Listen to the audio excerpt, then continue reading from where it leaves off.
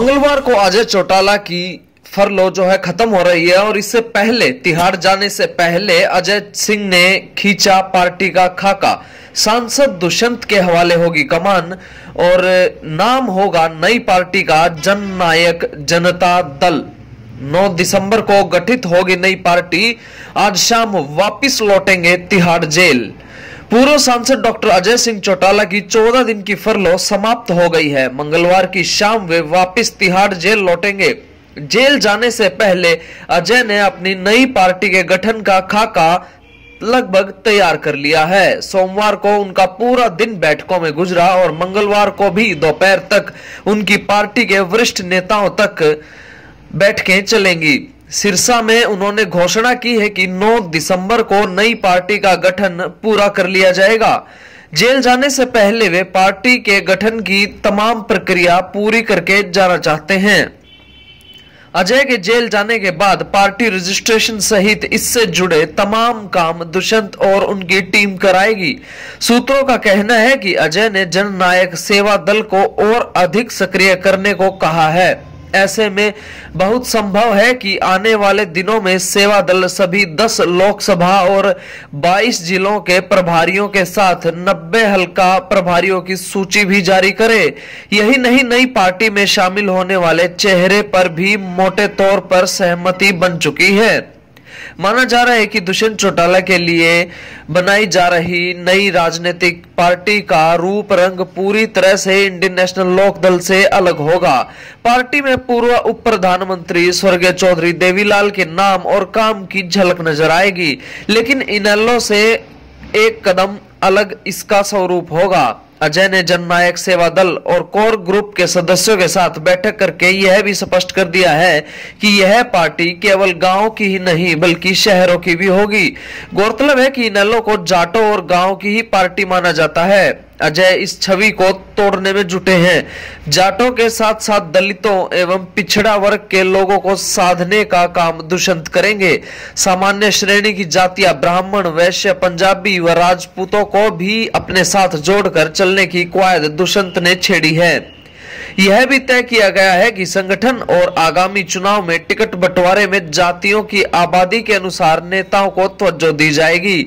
हरियाणा में जाट और गैर जाट की राजनीति को लेकर काफ़ी दिनों से चर्चा हो रही है।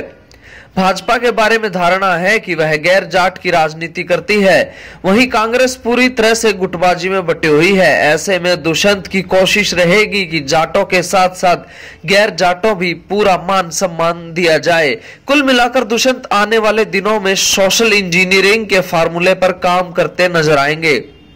जींद में हुई कार्यकारिणी की बैठक में अजय चौटाला सहित उनसे जुड़े अधिकांश नेता, जननायक, जनता दल नाम की पार्टी बनाने पर मुहर लगा चुके हैं। बताते हैं कि इसी बैठक में पार्टी के झंडे को भी अंतिम रूप दिया जा चुका है। जननायक, जनता दल के झंडे में हरा रंग भी शामिल करने का फैसला लिया गया है। चुनाव चिन्ह बारे अभी बातचीत का दौर जारी है। यही नहीं, जींद उपचुनाव भी लड़ने का मन बनाया जा चुका है। लेकिन देखिए जो सबसे बड़ी बात है पहले अजय सिंह चौटाला ने कहा था कि वो नई पार्टी नहीं बनाएँगे। देखो राजनीतिक विचारधारा अलग चीज़ है। परिवार तो परिवार है। परिवार में दरार है तो वो अंदर होगी बाहर तो कहीं कोई ना है ना मुझे कहीं दिखाई दे रही है। राजनीतिक विचारधारा तो बदलती है आदमी की हर एक की अपनी अपनी है। आपकी अलग सोच है मेरी अलग सोच है दूसरों की अलग सोच है। अरे भाई पार्टी हमारी है नई क्यों बनाएँगे?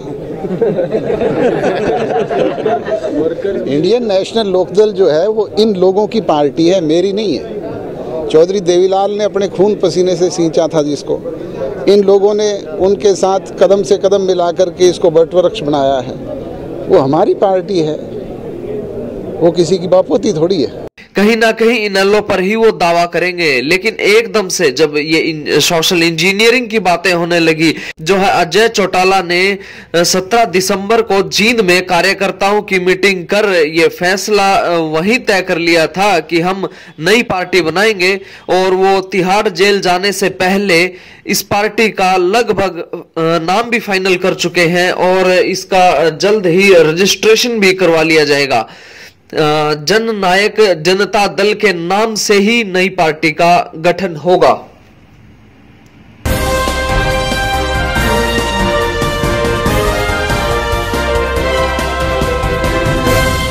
नाइन मीडिया अब आपके लिए लेके आया है latest technology with fully wireless system, जिसके द्वारा आप अपने किसी भी प्रोग्राम को लाइव कर सकते हैं, जैसे कि राजनीतिक रैली, जलसा, जागरण और स्पोर्ट्स इवेंट।